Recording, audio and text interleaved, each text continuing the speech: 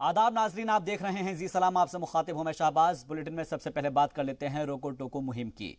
मुल्क में कोरोना की दूसरी लहर बेकाबू हो चुकी है और तीसरे दिन लगातार दो लाख से भी ज़्यादा नए कोरोना के केस आ चुके हैं। इतना ही नहीं, इस वबा के शुरू होने से लेकर अब तक पहली बार एक दिन में सबसे ज़्यादा मुतासरीन की मौत हुई है।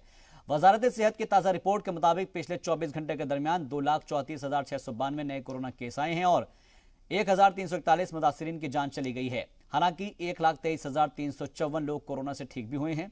इससे पहले जुमेरात को दो लाख सत्रह हज़ार तीन सौ तिरपन नए केस आए थे। वहीं 15 सितंबर को सबसे ज़्यादा 1290 लोगों की मौत हुई थी। राजधानी दिल्ली में जुमे को उन्नीस हज़ार से ज़्यादा नए कोरोना के केस आए, जबकि 141 लोग इस वबा से हलाक हो चुके हैं, उनकी मौत हो चुकी है। लोगों की जान पर भारी पड़ रहे कोरोना वायरस की इस चेन को तोड़ने के लिए दिल्ली में जुमे की रात 10 बजे से वीकेंड कर्फ्यू नाफिज किया जा चुका है, जो कि पीर की सुबह पाँच बजे तक जारी रहेगा। केजरीवाल हुकूमत के हुक्म के मुताबिक वीकेंड लॉकडाउन के दौरान ऑडिटोरियम जिम्नेजियम, मॉल और सभी चीज़ों को बंद रखना होगा, जबकि सिनेमाघरों में सिर्फ़ 30 फ़ीसद नाजरीन के साथ उसे चलाया जा सकता है। वहीं मुल्क में 16 जनवरी को कोरोना का टीका लगाए जाने की मुहिम की शुरुआत हुई थी। 16 अप्रैल तक मुल्क भर में 11 करोड़ निन्यानवे लाख सैंतीस हज़ार छह सौ इकतालीस कोरोना डोज दी जा चुकी है। बीते दिन 30 लाख चार हज़ार पाँच सौ चवालीस टीके लगे हैं। वैक्सीन की दूसरी खुराक देने की मुहिम 13 फरवरी को शुरू हुई थी। एक अप्रैल से 45 साल के ऊपर के सभी लोगों को टीका लगाया जा रहा है। मुल्क में कोरोना से अमवात की शरह एक आशार्य दो एक फ़ीसद है, जबकि रिकवरी रेट करीब अठासी फ़ीसद है। एक्टिव केस बढ़कर 11 फ़ीसद से ज़्यादा हो गए हैं। कोरोना एक्टिव केस मामले में दुनिया में हिंदुस्तान का दूसरा मकाम है। कुल मुतासर मरीजों की तादाद में भी भारत का दूसरे मकाम पर, भारत दूसरे मकाम पर है और, जबकि दुनिया में अमेरिका, ब्राज़ील, मैक्सिको के बाद हिंदुस्तान में सबसे ज़्यादा मौत हुई है।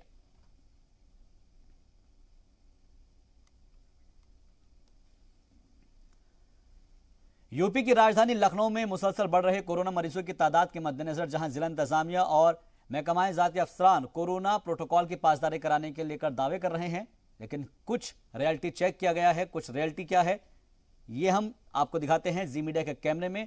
कैद अवध बस स्टेशन की सोशल डिस्टेंसिंग की धज्जा उड़ाती हुई तस्वीरें, दावों की कलाई खोल रही है। काउंटर के अंदर खड़े मुलाजमीन भी मास्क लगाए हुए नहीं हैं।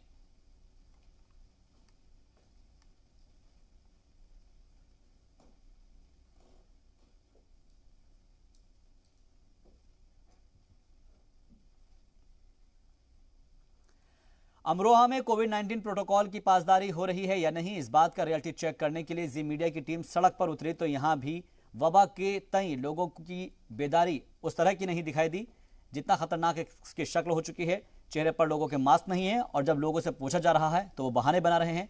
कोई मास्क घर भूल गया है तो कुछ के बैग में मास्क रखा है। मैं रोको टोको अभियान के तहत देखने आया हूँ कि यहाँ पर कोविड नियमों का कितना पालन हो रहा है। देख लेते हैं यहाँ पर क्या स्थिति है। फ़िलहाल सुबह का टाइम है। ज़्यादा लोग यहाँ पर नहीं हैं। ये बस के कंडक्टर हैं इनसे बात कर लेते हैं। आपका नाम क्या है जी? रवि गौतम सर। जी। रवि गौतम। आपने मास्क क्यों नहीं लगाया? सर मास्क मेरा गाड़ी में रखा है। मास्क आप कंडक्टर हैं आपके ऊपर ज़्यादा- ज़िम्मेदारी बनती है उसके बाद एक्चुअली सर ऐसा है मेरा मास्क गाड़ी में रखा। अभी मैंने कोल्ड ड्रिंक पी थी मास्क लगाइएगा आपका भी Thank ज़रूर you. है। लगाया था। मास्क लगा ले। तो आप देख के मास्क लगा रहे हैं लेकिन मास्क लगा क्यों नहीं रख लगा लेंगे भाई। मास्क तो है सरकार का भी अनुरोध है हमारा भी अनुरोध है कि मास्क लगाइए अपने जीवन की सुरक्षा करिए। आपने मास्क क्यों नहीं लगाया? मास्क मेरे पास है मैं भी हाथ में धो के आ रहा था तो इसी वजह से थोड़ा ध्यान नहीं रहा मेरे। एक्चुअली मैं अब लगा लेता हूँ कोई बात रिक्शा वाले का नाम आपका? मुस्तर अली। हाँ जी। मुस्तर अली। मुस्तर अली साहब आपने मास्क क्यों नहीं लगा रखा था? मास्क अभी ले भी लेके अभी गाड़ी अभी घर से ही लाई उधर से। तो आपने हमें देख करके मास्क लगाया है। अभी जो है क्या नाम है कोविड नियमों का पूरी तरह पालन नहीं हो रहा है। जब मास्क क्यों नहीं लगा रखा आपने? नहीं सर वैसे ही बस ये है मास्क तो लगाया नहीं जेब में रखने के लिए थोड़ी ना मास्क? नहीं नहीं बात आपकी ठीक है सर बिल्कुल। आप यहाँ दुकान लगाते हैं? हाँ सर अपने ठेला है आपने मास्क क्यों नहीं लगा रखा? सर वो मास्क मेरे धोने के टाइम डाल का आया हूँ मैं सूख रहा है सर अभी डाल का आया हूँ। आपने मास्क क्यों नहीं लगा रखा? हाँ क्या कहा बाबा? नहीं क्यों नहीं लगा रखा? हाँ लगाया ना था लगा रहा आपका अनुरोध है कि आप मास्क लगाइए। लगा रहा तो देखा आपने कि लोग कितने लापरवाह हैं, लोग मास्क लगाने को तैयार नहीं हैं। मास्क लगाने के नाम पर सिर्फ़ और सिर्फ़ कैमरे को देख करके मास्क लगाने की बात कर रहे हैं। अभी भी अमरोहा में जो है, कोविड नियमों को लेकर के लोगों में गंभीरता नज़र नहीं आ रही है। विनीत अग्रवाल, जी मीडिया, अमरोहा। उधर मथुरा में मुसलसल कोरोना मरीजों की तादाद में इजाफा हो रहा है। बावजूद इसके एहतियात के नाम पर कई लोग सड़क पर अपनी और दूसरों की जान से खिलवाड़ करते नज़र आ रहे हैं। शहर में नाइट कर्फ्यू तक नाफिज है, लेकिन लोग मास्क का इस्तेमाल पूरी तरह से करने को तैयार नहीं है। भीड़ भाड़ वाले इलाकों में सोशल डिस्टेंसिंग की धज्जा उड़ाई जा रही है। दिख ही नहीं रहा। भाई साहब मास्क? मास्क हम इसको बांधते हैं। ये रहा मास्क। तीनों लोगों में से किसी के मास्क नहीं है तीनों लोग आप पास बैठे हैं। चाहिए कि मास्क नहीं ना हम तो इसको बाँध के रखते हैं ना। आप अपनी सुरक्षा करेंगे कि नहीं? हमको क्या सुरक्षा है? जो गवर्नमेंट अपनी सुरक्षा नहीं कर रही रैली करा रही है एक तरफ़ तो। जनता की धड़ाधड़ और एक तरफ़ कर रही है मास्क लगाइए गवर्नमेंट क्या द्वारी नीति अपना रही है क्या? गवर्नमेंट से ज़्यादा आपको अपनी सुरक्षा की ज़िम्मेदारी है कि गवर्नमेंट नहीं सुरक्षा का जिम्मेवारी ले रही है गवर्नमेंट ही लॉकडाउन लगा रही है सब कुछ गवर्नमेंट ही कर रही है। तो आम जनता क्या कर रही है? कोई बीमारी नहीं है हमारे यहाँ पर कोई परेशानी नहीं है। कोई परेशानी नहीं? बैठा है हमारा ये। मथुरा में इसका मतलब कोई कोरोना का केस है नहीं मथुरा कोई बीमारी ना है हमारे यहाँ पर। अभी आ रहा है। तो तमाम लोग यहाँ पर हैं जिन सब लोगों के अलग अलग बहाने हैं। मास्क ना पहनने के कई लोग यहाँ पर हैं होने के बावजूद नहीं लगाते आपका मास्क। तो कब लगेगा? सभी लोगों के मास्क ना पहनने के अलग अलग बहाने हैं। बीमारी लगातार बढ़ती जा रही है लगातार केसों की संख्या बढ़ रही है। मथुरा में नाइट कर्फ्यू लागू कर दिया गया है। लगातार लोगों को जागरूक किया जा रहा है, लेकिन लापरवाही की हद यह है कि जानकारी के बावजूद भी लोग ना तो मास्क पहन रहे हैं, ना सोशल डिस्टेंसिंग का ध्यान रख रहे हैं। Kapil Sharma, ji, media Mathura.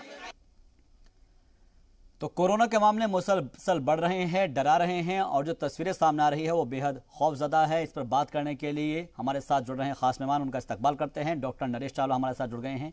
Vice president है, दिल्ली मेडिकल काउंसिल के, सर आपका बहुत बहुत इस्तकबाल है। साथ ही हमारे जी मीडिया के रिपोर्टर हमारे साथ, नवीन पांडे जुड़ रहे हैं वाराणसी से, आपका भी बहुत बहुत खैर मकदम है। और फारूक मानी हमारे साथ श्रीनगर से जुड़ रहे हैं जी मीडिया रिपोर्टर, उनका भी बहुत बहुत इस्तकबाल करते हैं। सबसे पहले, नवीन, मैं आपसे समझना चाहूँगा कि आज के हालात को देखते हुए, जिस तरीके से हम देख रहे हैं कि जी मीडिया की मुहिम है, रोको टोको मुहिम। और इस मुहिम के तहत हमारी कोशिश यह है कि जो भी अगर मास्क सही तरीके से नहीं पहन रखा है तो उसको मास्क पहनने के लिए कहा जाए, उसको सही तरीके से पहनने के लिए टोका जाए। और यही हमारी कोशिश है। आपसे समझना चाहेंगे कि इस मुहिम का कितना असर हो रहा है और क्या लोगों पर अभी फ़र्क पड़ रहा है। जी बिल्कुल क्योंकि जो मुहिम है जी मीडिया की रोको टोको उसके असर जनता में खास तौर से देखने को मिल रहा है। लोग मास्क के प्रति ज़रूर अवेयर होते हुए देखने को वाराणसी में फ़िलहाल मिल रहे हैं। अगर वाराणसी की बात की जाए वाराणसी में 2000 के ऊपर कल मामले आए थे।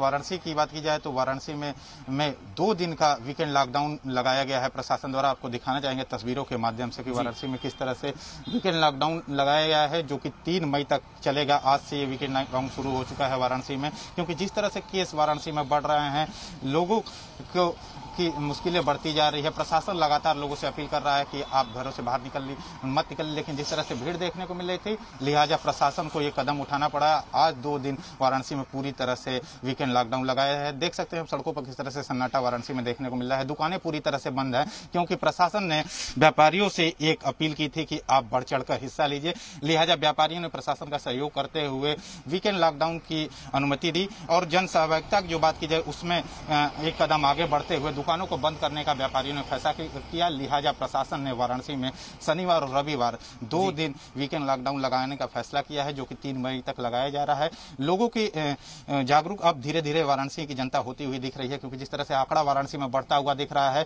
लगभग चौदह हज़ार तक एक्टिव केस वाराणसी में पहुँच चुके हैं जो लोगों को मुश्किलें बढ़ा रहे हैं। जगह हॉस्पिटलों में जगह की बात जगह भर चुकी है। लोगों को परेशानियाँ हो रही हैं जिसको देखते हुए अब यही रास्ता बच चुका था कि वीकेंड लॉकडाउन लगा के जिस तरह से लोग मानने को तैयार नहीं है और इसका कोई मुतबादल नहीं रह जाता है कि लॉकडाउन वहाँ पर नाफिज किया जाए और इसलिए हम बार बार लोगों से अपील कर रहे हैं गुजारिश कर रहे हैं। जी सलाम की इल्तिजा है कि आप हमारी इस मुहिम का हिस्सा बनिए रोको टोको अभियान में। अगर आपके आसपास कोई इस तरह का शख्स दिखता है जो मास्क नहीं लगाता है या ठीक तरीके से मास्क नहीं लगाता है तो उसको आप टोकिएगा और बताइएगा कि ये वबा कितनी खतरनाक है आपके लिए भी और हमारे लिए भी। फारूक के पास आऊँगा लेकिन उससे पहले मैं डॉक्टर नरेश चावला जी आपसे समझना चाहूँगा। आप खासतौर पर वाइस प्रेसिडेंट है दिल्ली मेडिकल काउंसिल के। हम देख पा रहे हैं लोगों के अंदर जो डर और खौफ एक होना चाहिए था, डॉक्टर साहब, वो एक तरीके से खत्म होता चला गया है। क्या उसके पीछे की हम वजूहत तलाश करें? उसके पीछे की वजह क्या समझ में आ रही है? भाई, मैं उसकी तीन वजहें समझता हूँ। एक सबसे बड़ी वजह तो ये की है कि एक कोरोना फटीक्स आ गया है। लास्ट ईयर मुझे अच्छी तरह याद है, कोरोना का जो ये लॉकडाउन लगा था तो पौने तीन महीने चला था। लोग अपनी छत से अपने फ्लोर से नीचे तक नहीं आते थे। जी। और सैनिटाइज इतना ज़्यादा करते थे बार बार जो सलाह दी जाती थी जो कोई भी हमारा पीएम मोदी साहब या कोई बोल किया जाता था। इस साल हमें तो पता चल गया था कि दिसंबर में कि यहाँ कुछ होने वाला है और पिछले डेढ़ महीने से तो हो भी रहा है। मुझे कोरोना के आने का इतना दुख नहीं है। लेकिन जिस तरीके से कई लेवल पे गलतियाँ हुई हैं, वो चाहे नेशनल गवर्नमेंट लेवल पे भी हुई हैं स्टेट गवर्नमेंट के लेवल पे भी बहुत गलतियाँ हुई हैं, और उससे भी ज़्यादा कि जो आम जनता जनार्दन के लेवल पे हैं, कि उनको कोई खौफ ही नहीं है, कोई परवाह ही नहीं है टोटल बेपरवाह, बेखौफ, लापरवाह। आप कहेंगे इसकी वजह क्या है? एक मैंने फटीक बताया है। दूसरा उनको समाओ कुछ इमेज सी ऐसी नज़र आती है कि कोई दो तो कोई दूसरा तो बहुत कुछ कर रहा है और हमारे लिए ये सोशल डिस्टेंसिंग कही जा रही है। ये एक आम आदमी एक ये डबल इमेज को स्वीकार नहीं कर पा रहा। तो तीसरा कारण क्या है? कि समाव लोगों के दिमाग में होता है जिसके घर में कुछ नहीं होता ना वो सोचता है यार कुछ नहीं कोरोना होगा ठीक हो ही जाएगा। तो ऐसा ही कुछ तीन चीज़ें हैं। आप उस घर का देखिए जिस घर का एक बड़ा बूढ़ा हॉस्पिटल में पड़ा होता है वो मारा मारा उसके घर वाले कोई इसको इंजेक्शन रेमसिडियो नहीं मिल रहा किसी को प्लाज्मा नहीं मिल रहा किसी को बेड नहीं मिल रहा। दिल्ली शहर जो कि सबसे अच्छा माना जाना चाहिए दिल्ली शहर में सारे हॉस्पिटल सारे गवर्नमेंट हॉस्पिटल सारे private hospital they are more than booked plus at least ten percent लोग बाहर बैठे हैं कि कहा उनको एक बेड मिले। तो मुझे दुख इस बात का है कि जिस हिसाब से हमारी लोग बिल्कुल भी परवाह नहीं कर रहे लोगों को ये अपना जीवन शैली अपनानी पड़ेगी कि फालतू घरों से ना निकला ही कोरोना अप्रोप्रिएट बिहेवियर फालतू घर से मत निकलिएगा दूसरा हमेशा मास्क के साथ निकलिएगा। तीसरा जो सबसे इंपॉर्टेंट है झुंड में क्राउड में बिल्कुल मत कीजिएगा। सोशल डिस्टेंसिंग का पालन कीजिएगा। ये चीज़ें इस टाइम इतनी ज़्यादा ज़रूरी हैं। किसी भी इलाज किसी भी डॉक्टर किसी भी हॉस्पिटल अरेंजमेंट चाहे बेड्स हों वेंटिलेटर्स हों कुछ भी ना हो जब तक लोग ये नहीं अपनाएँगे मुझे बहुत अफसोस से कहना पड़ेगा we are going from bad to worse to worse मैंने ही आज से दस पंद्रह दिन पहले आपके चैनल पे भी कहा था पंद्रह बीस दिन पहले कि एक लाख टच होगा और मैंने ही कहा था दो लाख होंगे और मैं खुलेआम कह रहा हूँ ये तीन लाख से ऊपर भी कोई ज़्यादा दिन नहीं चाहिए। It will happen within maximum four, five, six days only. तो अगर ये हमारा ये आपने बहुत बहुत अहम बात कही है डॉक्टर नरेश चावला जी कि दो से तीन दिन के अंदर इसका जो आंकड़ा है और बढ़ जाएगा और इसलिए हमारी ये मुहिम जारी है और इसमें मुहिम में हमारा साथ दे रहे तमाम जो हमारे रिपोर्टर है वो लोगों को रोक भी रहे हैं टोक भी रहे हैं। फारूक वानी हमारे साथ जुड़े हुए श्रीनगर से। फारूक क्या इस रोको टोको मुहिम का अब कुछ असर दिख रहा है लोगों में? क्योंकि जिस तरीके से हम देखते हैं कि तमाम सयाह भी पहुँचते हैं तमाम लोग भी पहुँचते हैं क्या लोगों के अंदर अब इस बारे में बेदारी मुहिम जो हमने चलाई है उसका थोड़ा बहुत असर हो रहा है? जी बिल्कुल। जैसे कि यहाँ पे जम्मू कश्मीर में अगर हम बात करें तो यहाँ हमने कल देखा कि जो नमाजी हैं उन्होंने बाबा जो सोशल डिस्टेंसिंग है उसका पालन किया। और आज अहम दो बैठकें हुई जम्मू कश्मीर के उपराज्यपाल के ऑफ़िस में जिसमें ये निर्णय लिया गया कि जो गैदरिंग्स हैं उन पर प्रतिबंध लगा दिया गया है और खाली सौ लोग जमा हो सकते हैं। तो इस तरीके के आदेश जो हैं वो जारी किए गए हैं। और दूसरी बात यह कि जो ग्यारहवीं कक्षा के एग्ज़ाम थे उनको फ़िलहाल जो है कैंसिल कर दिया गया है। कोविड नाइन्टीन को देखते हुए एक और अहम बैठक हुई आज कश्मीर घाटी में, जिसमें जम्मू कश्मीर के कई जो वरिष्ठ आला अधिकारी हैं, उन्होंने उसमें हिस्सा लिया और जम्मू कश्मीर, जम्मू के डिवीजनल कमिश्नर और कश्मीर के डिवीजनल कमिश्नर ने उसमें भाग लिया। इसके अलावा जो हेल्थ विभाग के अधिकारी हैं, उन्होंने इसमें भाग लिया और उसमें भी ये जो है, सुनिश्चित किया गया, जो यहाँ के हॉस्पिटल्स हैं, चाहे वो जम्मू में हैं या कश्मीर में है, वहाँ पर ऑक्सीजन सप्लाई को यकीनी बनाने के लिए वहाँ पर जायज़ा लिया गया मीटिंग में और ऑक्सीजन सप्लाई बेड, बेडों की सुविधा जो है उस पर भी जो है मीटिंग में जायज़ा लिया गया और उसको वहाँ पे दस्तियाब रखने के लिए जो है उनके डायरेक्शन जारी किए गए कि अस्पतालों में कम से कम इस तरह की स्थिति नहीं पैदा होनी चाहिए जहाँ पर अभी ऑक्सीजन की कमी जो है वो महसूस की जाए। लेकिन इस सिलसिले में जो है श्रीनगर के स्टेट अस्पताल में फ़िलहाल जो है नॉर्मल सर्जरीज़ को बंद कर दिया गया है और वहाँ पर अब खाली जो है एमरजेंसी सर्विसेज़ के जो केसेस आएँगे उन्हीं की सर्जरी की जाएगी और इसके अलावा बेडों की जो सुविधा है वो भी बढ़ा दी गई है क्योंकि कोविड नाइन्टीन पेशेंट भी भारी संख्या में आ रहे हैं तो उसको देखते हुए हर तरह के प्रबंध वहाँ पे भी किए गए हैं। और साथ में जिस तरीके से अभी कोविड नाइन्टीन फैल रहा है और बताया ये भी जा रहा है जो कुछ जर्नल्स में भी लिखा गया है कि बच्चों में भी इन्फेक्शन हो रहा है ये, तो उसको ये, ये अहम बात है जो आप बता रहे हैं कि बच्चों में भी इसके सिम्टम्स है वो देखने को मिल रहे हैं। मैं आऊँगा आपके पास फारूक। डॉक्टर समीर भाटी जी हमारे साथ जुड़ गए हैं मेंबर है कोविड अवेयरनेस कैंपेन के। कैंपेन कमेटी के। सर आपका बहुत बहुत इस्तकबाल है जी सलाम पर। धन्यवाद थैंक यू डॉक्टर समीर साहब मैं आपसे समझना चाहूँगा क्योंकि जिस तरीके से फारूक बता रहे हैं कि जो कोरोना का जो नई लहर है दूसरी लहर जिसे हम कह रहे हैं ये बच्चों के ऊपर ज़्यादा इफ़ेक्ट कर रही है बच्चों को को ज़्यादा मुतासर कर रही है। मैं आपसे समझना चाहूँगा इसके बारे में कि इससे अपने बच्चों को कैसे महफूज हम रख सकते हैं। जी, बिल्कुल देखिए, जो इस बार देखा जा रहा है, इस लहर के अंदर युवा और बच्चे काफ़ी ज़्यादा इन्फेक्ट हो रहे हैं उनके अंदर काफ़ी पॉजिटिविटी रेट और उन, उनमें भी मतलब हॉस्पिटल में एडमिशन उनका भी होना। शुरू हो गया है। अ, हम पिछली लहर की बात करें तो पिछली बार बच्चों का उतना मूवमेंट नहीं था पर तो अब तो बच्चे भी जैसे सब चीज़ें अनलॉक हो चुकी है तो उनका भी बाहर आना जाना रहता है। अ, बच्चों में अब विशेष तौर पर जो ध्यान रखने वाली बात वो ये है कि किसी भी तरह का अगर कोई सिम्टम आए तो उसको इग्नोर हमें नहीं करना है। कई बार हमें लगता है कि बच्चों को तो ये वायरल है हो ही जाता है ऐसा नहीं। जैसा ही कोई उनको सिम्टम आए, तुरंत आपको उनके पेडिटिशियन से, बच्चों के डॉक्टर से बात करके और उनका ट्रीटमेंट शुरू कराना। बच्चों में भी खास तौर पर देखा गया, पेट संबंधित सिम्टम आ रहे हैं। पेट में दर्द होना भूख ना लगना वॉमिटिंग होना मतलब उल्टी आना, इस तरह की चीज़ें काफ़ी देखी गई है, जो पुराने सिम्टम थे, सर्दी खांसी, जुकाम, उनके अलावा। तो ये खास तौर पे ध्यान रखना है कि तुरंत उसके लिए बात करें और कोशिश रहे कि बच्चों को फिर बुज़ुर्गों से और सबसे दूर रखना है, क्योंकि बच्चों से सिम्टम बच्चों को बहुत ज़्यादा प्रॉब्लम नहीं हो रही है उस तरह की सीवियरिटी नहीं देखी जा रही है, गंभीरता नहीं देखी जा रही, पर बच्चों से बड़ों को और जो बुज़ुर्ग हो, जिनको ऑलरेडी कोई बीमारी है, उनको काफ़ी प्रॉब्लम हो सकती है।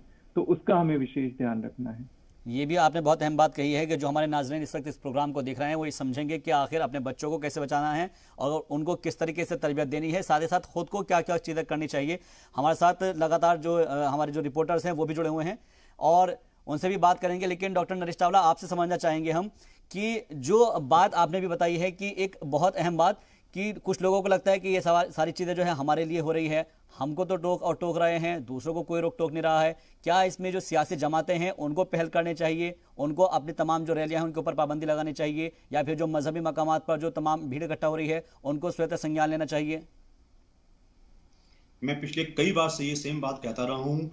जितनी भी पॉलिटिकल रैलीज हैं रिलीजियस गैदरिंग्स हैं, वो इमिजिएटली उनको या तो वर्चुअल मीटिंग में कन्वर्ट करना चाहिए। अगर कोई सोचे कि हमारे पास पंद्रह और मिल जाएँगे या दस बारह दिन मिल जाएँगे, तब तक तबाही बहुत बढ़ जाएगी और हमारे हाथ से बाहर निकल जाए। अभी भी हमारे हाथ से बाहर है, लेकिन कुछ इलाके जो बचे हुए हैं क्योंकि हमारे यहाँ inter state air travel rail travel और रोड ट्रैवल ऑन है, कोई बॉर्डर्स पे रोक टोक नहीं है तो इन्फेक्शन जहाँ नहीं फैला है और वो चल, वो अभी वहाँ इन्फेक्शन पहुँच सकता है। इसके अलावा मैंने एक चीज़ नोट की है कि जो बड़े शहर हैं मुंबई दिल्ली चेन्नई बेंगलुरु और ये कोलकाता इनमें से माइग्रेशन शुरू हो गया है क्योंकि लोगों को लगता है शायद कहानी बिगड़ने वाली है। टोटल लॉकडाउन टोटल ना हो जाए। तो इससे वो समझ रहे हैं कि हम अपने पहले ही अपने जहाँ के वो किसी गाँव के हैं किसी दूसरी जगह के हैं वहाँ वापस जाना शुरू हो गए हैं। उसका एक और डर है उससे बीमारी वहाँ तक भी पहुँचने का बहुत डर है। तो हमारे हिसाब से सख्ती एक ऑल इंडिया यानी कि नेशनल लेवल पे एक कमांड स्ट्रक्चर क्रिएट किया जाए। वहाँ एक एक टास्क फोर्स क्रिएट किया जाए। कहने को होगा भी, हर राज्य का अपना कमांड फोर्स और टास्क फोर्स किया जाए, जो कि डिस्ट्रिक्ट्स को देखे, जो नेशनल है वो स्टेट्स को देखे। इसको हमें बहुत जल्द करना पड़ेगा। कोई सोचे कि हमारे पास अभी बहुत समय है तो हमारे पास बहुत समय नहीं है।